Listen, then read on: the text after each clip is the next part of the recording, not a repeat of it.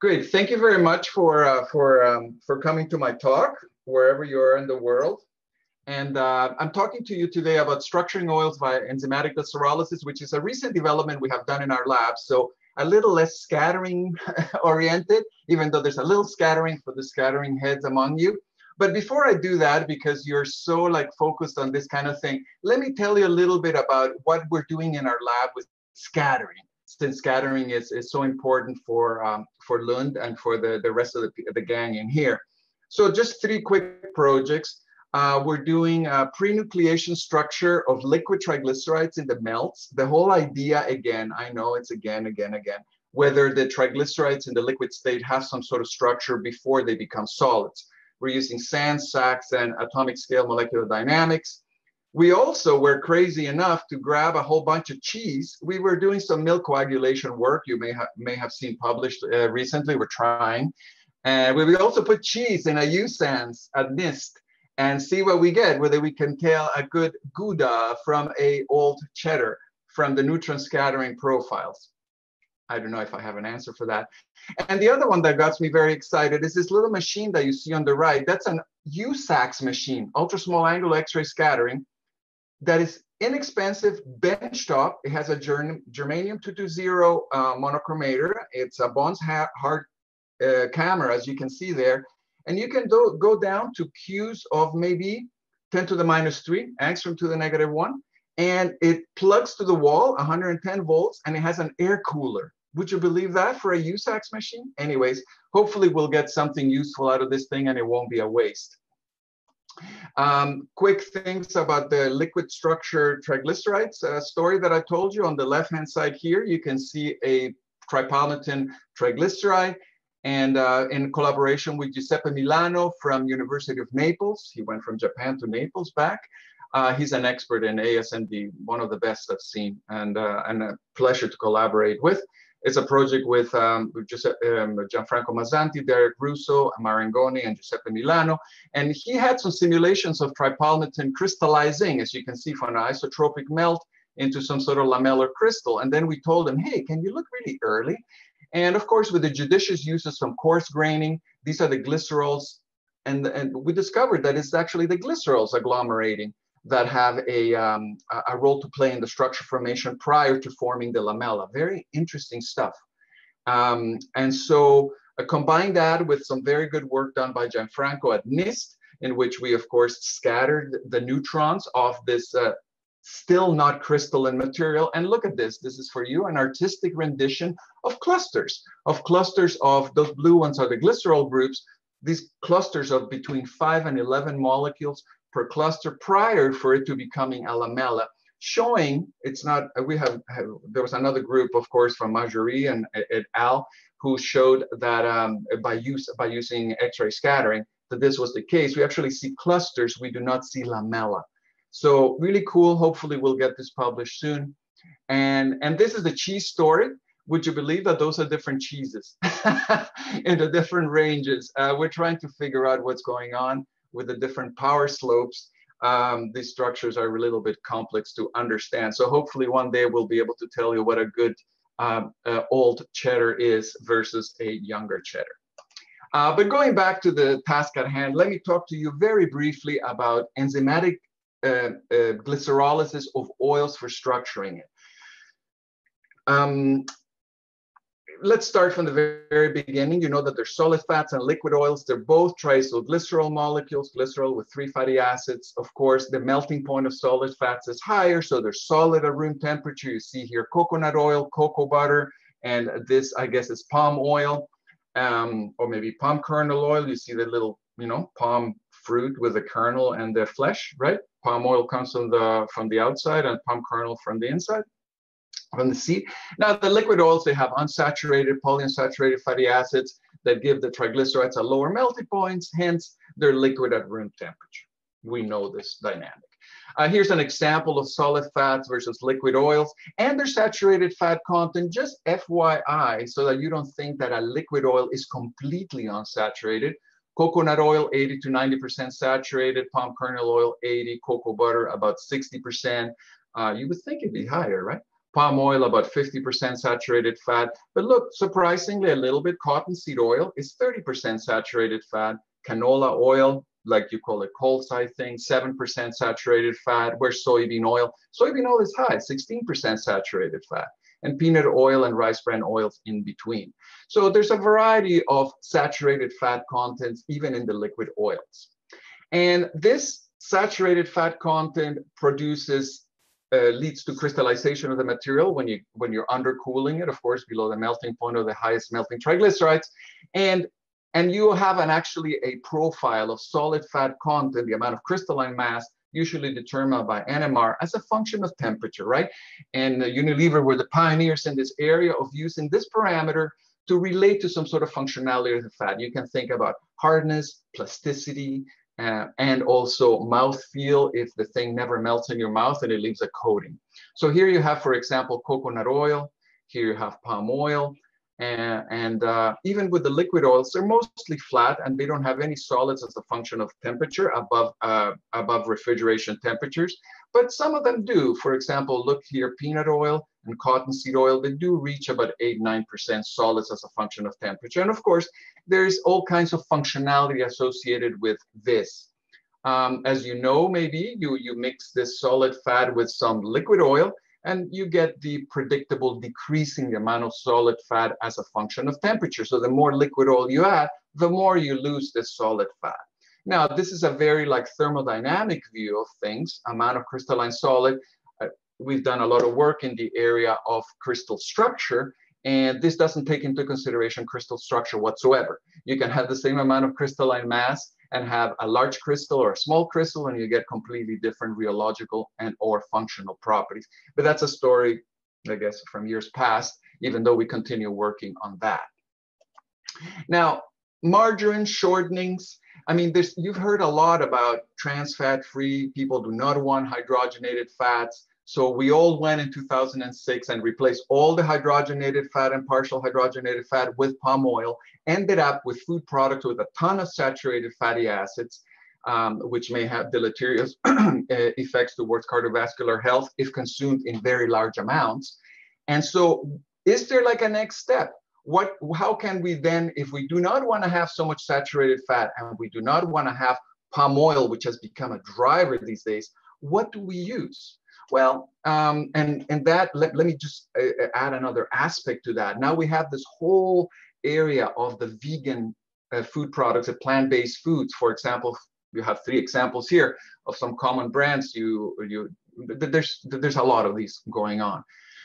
If you want to add fat to these things, do we add a lot of palm oil to it? Uh, and then we have issues with sustainability. Um, but do we do we want to put a lot of saturated fat into these allegedly healthy food products? Um, the go-to fat for all of these guys is coconut oil, maybe mixed with a little bit of liquid oil. But everybody uses coconut oil because they want to avoid uh, having the sustainability issue of uh, of palm oil, and you know it's the only solution right now, and it's cheaper than cocoa butter or shea butter, uh, which could be another option for these things. And so let's talk about health and sustainability a little bit, because this is driving a lot of the research that we do in our lab right now. We talked about saturated fat, so you're going to put coconut oil in it, or maybe you, you put palm oil in it. But at the end of the day, what have we learned from saturated fat? Such excessive consumption of saturated fat will raise your bad cholesterol, low, low density lipoprotein in your blood serum. Um, it will also reach, uh, uh, raise your total cholesterol, but it also raises your good cholesterol. So when you take the ratio of good to bad cholesterol, it's fairly neutral in that respect. Now, um, the mono, monounsaturated fatty acids uh, do not really affect the bad or total cholesterol. They raise some of your good cholesterol. So this negative uh, trend from the monounsaturated fatty acids is considered to be beneficial in terms of a decreased risk of getting cardiovascular artery disease. That is, and if you replace the uh, carbohydrates with fat at isocaloric levels. Ron Mensink told me that you have to qualify these things. You're replacing carbs with fat or fat with carbs. If you replace it with protein, you may have a different story, but this is how this is done. And the polys were always good. Polyunsaturated, linoleic, linolenic, decreases your bad cholesterol, decreases your total cholesterol, increases your good cholesterol, and this decrease in this ratio of good to bad is, is uh, sorry, bad to good, is, is, is, good, is even further. So polys have always shown from 1957 with Keys's work, this has not changed. And this is what Mensink finally wrote for the World Health Organization in 2016. There's really no, no issues with this concept. There have never been. Um, the only issue here is that saturated fatty acids, when you take the ratio, are fairly neutral. So are they bad? The question is, if you have high cholesterol above 200, I would say milligrams per deciliter in your blood, you do not want to eat anything that raises your cholesterol because you're outside the range where you should be concerned about this ratio. You should be concerned about your total cholesterol levels as well. If you're within a normal range, sure, let's talk about this. So this is where the saturated fatty acid story comes with health. You know, nutrition is always complicated. Now, what about sustainability? We spend a lot of time thinking about sustainability these days. We do not want to do in our lab research anymore that doesn't contribute somehow to trying to prevent some of these things happening in the world. We know, I come from Latin America, you know that the whole Amazon is being cut down to put pastures for beef. I mean, I like beef, I eat meat, but that's ridiculous. We cannot lose the Amazon to, to, to like, because we want to eat steaks. We, we just can't do that anymore. I mean, we can do it, but we won't be here in 100 years. Uh, and so the last rainforests, which are the, the cradle of biodiversity, the Amazon rainforest, the Congo basins, some of the Southeast Asian forests, right? You've heard about Borneo. There's very little left of this. Uh, I don't think there'll be much of the Amazon left in the next 20 years. And so this is how, for example, Malaysia and Indonesia look. There used to be a lush forest, and let's not be uh, like uh, like like stand on soapboxes here in North America it was done, in Europe it was done, the native forests were cut and they put in whatever. Um, uh, but right now what is happening in the tropical world, is, this is happening right now and that's where biodiversity is and it's a bit of a crime. Now, the on the other hand, for example, palm oil, even though you're cutting the trees down and putting the palm plantation, it is the most productive plant. So per hectare, it produces, look at that, 3.3 tons of oil per hectare versus any of the other guys, which are, for example, soybean oil, 0.4 tons per hectare. So you need a lot more land when you when you're growing soybean for oil than for palm oil. So that's on the positive side. On the negative side of palm oil here, uh, there's a, a complex graph. Okay, is uh, species threatened per million hectares of palm plantations, and um, it's about 17. So look at the look at how negative the effect of having a palm oil plantation is on biodiversity for the threat to species. Now, look at coconut oil. It ain't that much better. I mean, yeah, it is. It is three times better, but it's still quite a bit uh, worse than, for example, olive oil and some of the peanut oils and some of the other ones around. So because the tropical rainforests are the cradle of biodiversity, if you put anything in it, a road, a building, a palm oil plantation, you're going to be threatening a lot of species. So this is at the prob at the core of the problem of palm oil and why Europeans particularly have been very active saying, no, we don't want any palm oil.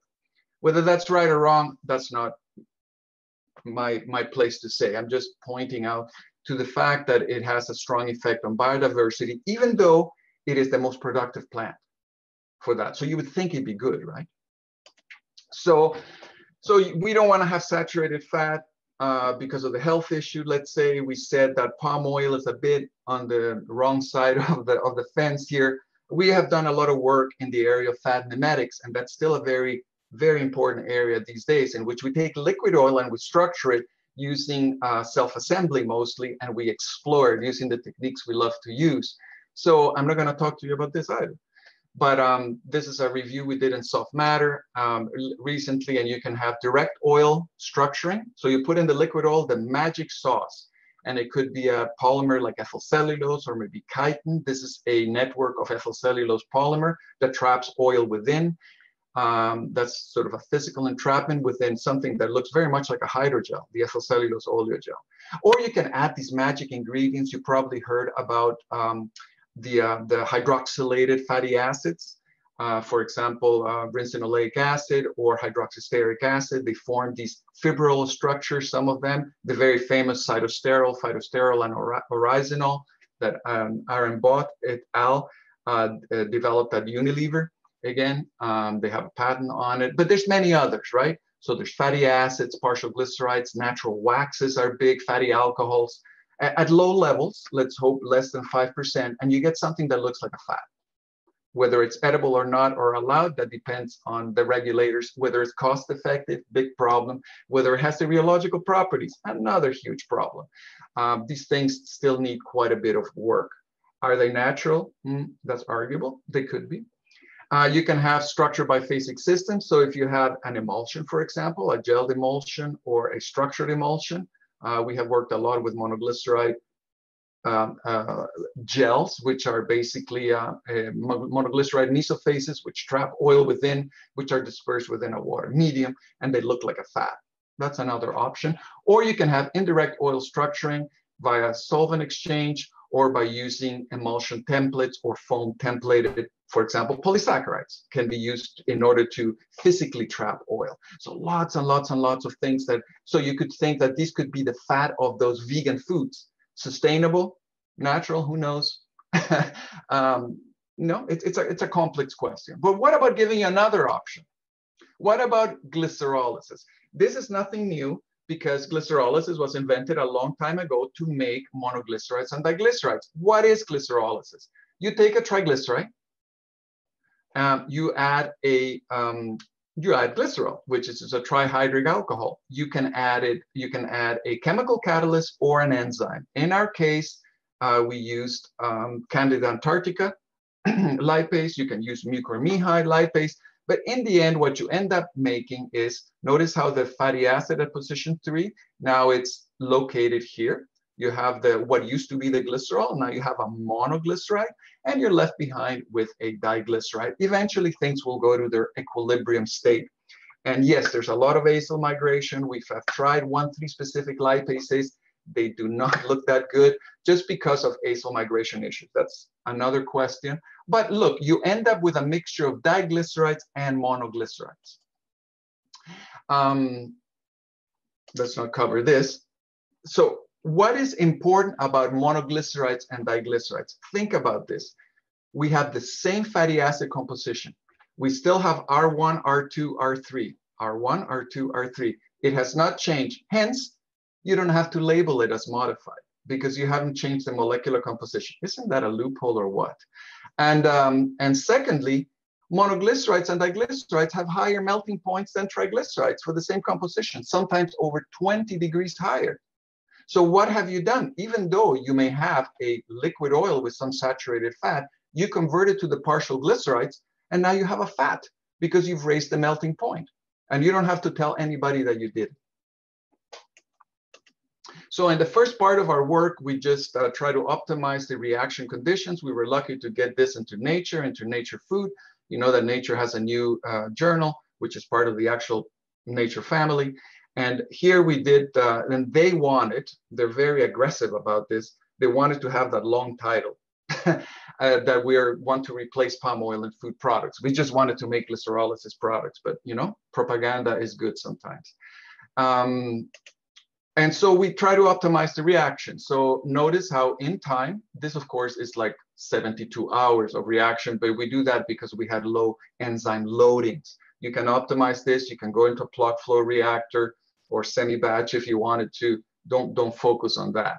But look at the conversion of diglycerides, how they change in time, monoglycerides, how they change in time, and as a function of reaction time but also the, the monoglyceride, sorry, the triglyceride to glycerol molar ratio. Always we found that a one-to-one was the way to go in case you're interested in doing this reaction, one-to-one mole-to-mole glycerol. And uh, the commercial enzyme, Candida antarctica, mix, mix, mix, mix. You can do it probably at home. And, uh, and you obtain the reaction after just a few days. Amenable to do in a small scale. Interesting, interesting technology. Um, what else? So here we actually monitored actually the formation of monoolein, monopalmitin, monolinolein. That's 18.1, 16.0 the saturated, and the 18.2. Again, it's a function of reaction time or glycerol to triglyceride ratio. Notice the expected increase as a function of time of the three species as the reaction continues. And interestingly enough, a bit of an optimum again at this glycerol to triglyceride uh, ratio of one to one. And why not? Of course, we measure the solid fat content as a function of time and notice the expected increase both at five degrees and at 20 degrees. I did not tell you this is cottonseed oil. And um, again, the glycerol to triglyceride ratio, the solid fat content peaks actually. In the case of um, five degrees, it plateaus, 20 degrees for some reason right now that become obvious in a, in a bit. Uh, we actually have a peak for this, again, showing that the one-to-one -one ratio is the way to go. Uh, and by the way, the reaction was run at 60 degrees Celsius. So at 60 degrees Celsius, the enzyme is at its optimum and uh, you're not overheating the oil and, uh, and you're keeping it also safe. Uh, notice uh, just a basic um, uh, practical test on oil loss. As the reaction continues and you make the mono and diglycerides, the, uh, the ability of the fat crystal network to trap oil increases. And you have here this plateauing after about 48 hours under the conditions we did. Interestingly, the glycerol to triglyceride ratio, at the one-to-one -one ratio, we had no measurable oil loss based on, we, we, we put it in a little centrifuge tube and spin it for about 30 minutes at 10,000 Gs and see how much of it separates out. And this is how we do this at room temperature. So it's, it's harsh conditions. Um, if we do differential scanning calorimetry on this, again, um, as a function of reaction time or glycerol to triglyceride ratio, this is cottonseed oil. Notice this in a differential scanning calorimeter. Notice the onset of crystallization at around five degrees. And as the reaction proceeds, we see the growth of a peak uh, associated with the monoglycerides. So you get this high melting peak coming up as the reaction continues. And the, with the glycerol to, um, to triglyceride ratio, interestingly enough, the one-to-one -one has the, arguably, uh, a little bit higher uh, crystallization peak as well. So there's an, a definitely an enhancement of the, a minimal enhancement over the other glycerol ratios at that particular uh, glycerol to triglyceride ratio, uh, which has been corroborates all the other information that we got before. There's nothing uh, fancy schmancy here. In terms of isothermal crystallization, we fitted to fit the crystallization curve to an Avrami model, derive the rate constant and um, and the Avrami index, but combine the two in a half-life or a half-time of crystallization. And notice here how, uh, let's just let's just look at one temperature, let's say 10 degrees Celsius. Um, uh, at the particular ratio one to one mole to triglyceride to glycerol ratio, we have the lowest um, half time of crystallization. So it goes faster. It all points out to higher melting peak, um, uh, lower half time of crystallization, higher rate constant of crystallization, what would we expect at the one-to-one -one ratio to have more numerous small crystals for the, that's a monoglyceride, by the way. This is the glycerolysis oil. Uh, it makes sense that you have a greater nucleation rate at that particular glycerol to triglyceride ratio. And the photographs say you don't need to analyze this. We did with a box counting fractal dimension. And of course, the space fill that's all that number says right now, by the way. I'm not implying fractality, but just a space fill. And it's more filled, right?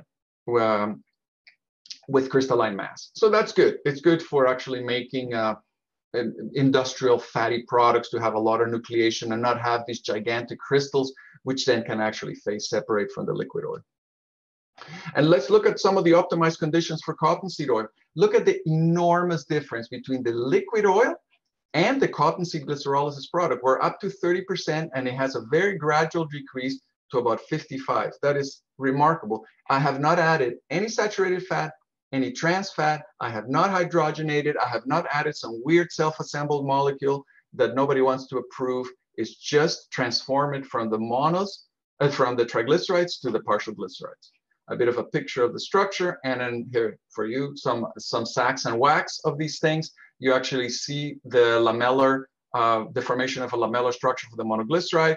It's a lamellar structure, so you get, you know, one, one half, one third, one fourth, and then the WAXS scattering pattern is characteristic of a triclinic uh, crystallization. So it's in the thermodynamically most stable form. So you don't have to worry about metastability. You know, the one, the beta prime beta thing they talk about fats, uh, it's not going to a beta prime, it's not going to orthorhombic, it's not going to metastable, it goes directly to the most stable form, probably because it's diluted in oil. Uh, so phase two was to, of, of the project was to go into the, why not try all the oils in the universe? That's a bit of an exaggeration, but here we have cottonseed, rice bran, tiger nut. I bet you you do not know what a tiger nut is. Check it out. Peanut, sesame, soybean, olive, canola oil, oleic canola oil, high oleic algal oil. We emptied the shelves in the lab. And uh, here's the saturated fat content of these things from super high to low and the oleic acid contents. And let's rip through them, the enzymatic glycerolysis reaction of all of these the gray lines are the original liquid oil. The black lines are the glycerolysis product. Let's not look at it too care like too much, but look at how black has a high melting, high melting peak, high melting peak, high melt. They all get high melting peaks. Even olive has a nice now. Uh, olive worked fairly well. That should get some people excited about having olive oil spreads. Um, of course, they have different microstructures. I, I, we just put them there for um, for the record but um, uh, but but but difficult to right now. There's not enough time to talk about the relationship between microstructure and and properties. And again, from the X-ray scattering patterns, all of them 4.6, 4.6, 4.56, 4.6. They're all in the triclinic crystallized in the triclinic form of the monoglyceride. Um, and you can see here the lamellar structure of the monoglyceride. So it makes a lamellar crystal uh, all of them related to their average fatty acid composition in the triclinic form. Uh, but do not forget, we also have a secondary peak uh, for diglycerides as well. So we actually have monoglycerides and diglyceride crystals present in these mixtures. Uh, we'll get back to that in a second. Um, here are the solid fat content versus temperature profiles for all those oils we, we, we looked at. Here's the tiger nut oil, up to 35% solids. Very interesting. It's a grass, by the way, with a, maybe you've seen it. Uh, here's the difference between the liquid and the solid. Notice the increase in peanut oil. The very, very interesting increase. And cottonseed oil, we saw that before. Look at rice bran oil goes up. Olive oil went up to 25% in refrigeration temperatures, maybe not solid enough at room temperature for a fancy margarine high oleic canola oil, soybean oil increased to an interesting extent. Maybe we get enough crystals for Pickering stabilization under refrigerated conditions for your little dressings, right? Emulsifier free stuff. Uh, sesame oils, canola, and the high oleic algal oil didn't go up at all. Uh, but notice potential for very different ones. Um, maybe once we, under, we develop a greater understanding of more molecular detail on these, we can actually design one with the most amount of solids. Also notice cottonseed, how it has a gradual reduction in solid fat content as a function of temperature, while peanut and tiger nut have more of a two-stage. We were coming to some sort of conclusions about that. Uh, what defines this two-stage melting versus the more gradual melting? And here we have a very high oleic acid content, and here we have a low uh, oleic acid content. So the, the ones with low oleic acid, more gradual. The ones with high oleic acid, more two-stage. And uh, rice bran oil is somewhere in between of the two. Is that completely true? This could be one of those correlations that are not cause and effect. So don't put too much emphasis on that. It's just a preliminary step. So the important points to take from this is that Saturated fatty acids contribute to the solid fat content of five. It's good to have an oil with high saturated fatty acid content. Oleic acid contributes to SFC at five when saturated fatty acids are present above 5%. So oleic acid is good, but you need to have some saturated. And very high oleic acid contents are required to achieve a high level of solids when saturated fat content is less than 10%. As we said, that goes along with the second point. Um, but if you have more oleic acid content in your mixture, you have the more abrupt two-stage uh, kind of decrease of SFC as a function of temperature. Now, we, uh, we also have this, this is complicated to talk in a short talk like this, um, molecular interactions between the species present there. And I'm just gonna point out to a, a few of these. For example, if you get monopalmitin 16-0 and monostearin, uh, you have ideal solution behavior you have uh, um, you have uh, you have ideal mixing between the two solid states. We're talking about solid solid states when it's in the alpha polymorphic form. But in the beta polymorphic form, you have eutectic effects. So you have now a decrease in the melting point. So you have to keep in mind how much C18 monoglyceride versus C16 monoglyceride you have. If you're wondering what on earth this is, this is a sub-alpha phase, another strange phase that the monoglycerides do. Monoolein and monolinolein. Well, let's not talk about this little one here. They have fairly ideal mixing behavior. They mix, there's, a, there, there's mixing in the solid state. Um, monopalmitin and monoolein, what's the deal with that? Notice here, this is the melting point of, um, of monoolein. And um, you can actually incorporate up to almost 20% monopalmitin in the monoolein crystal.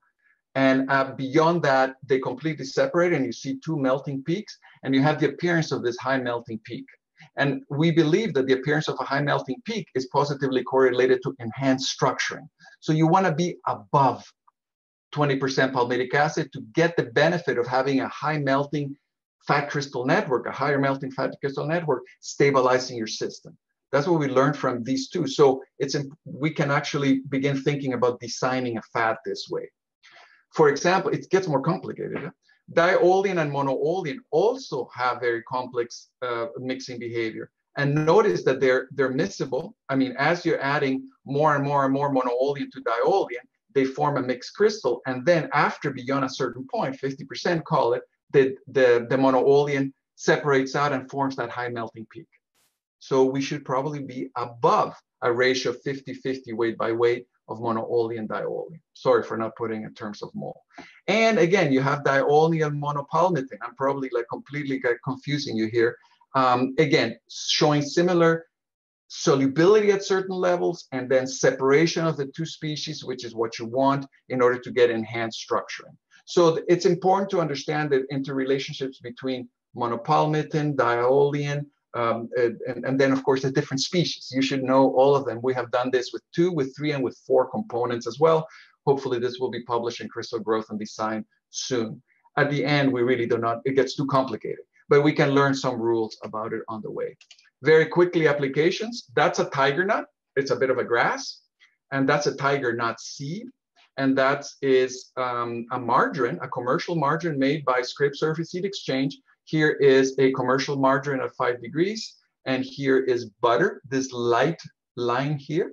And this is our commercial tiger nut glycerolysis margarine. No emulsifiers and uh, no saturated fat other than the one that used to be in the tiger nut. And, uh, and here it is. This is a uh, back extrusion, by the way, profile. So when you extrude it into a cylinder, it comes out and it's a good idea, gives a good idea of plasticity and of hardness. Uh, what about the melting behavior? I think the commercial margarine and the tiger nut margarine look very similar. And solid fat content versus temperature profile, a tiger nut crashes a little bit before the commercial margarine, but that may not be bad for a, um, for a fridge ready kind of product. Uh, the solid fat content is relatively low for both at refrigeration temperatures. So uh, maybe if you're in a warm country or maybe a hot day in the Netherlands, you will uh, maybe become a little flute liquid, but we, you know, combination with other, maybe a little cottonseed oil will give you the profile you want. And this is after 10 months storage of the tiger nut margarine. We still see the, you know, the, the regular structure of a margarine product, without too many changes and with the required stability.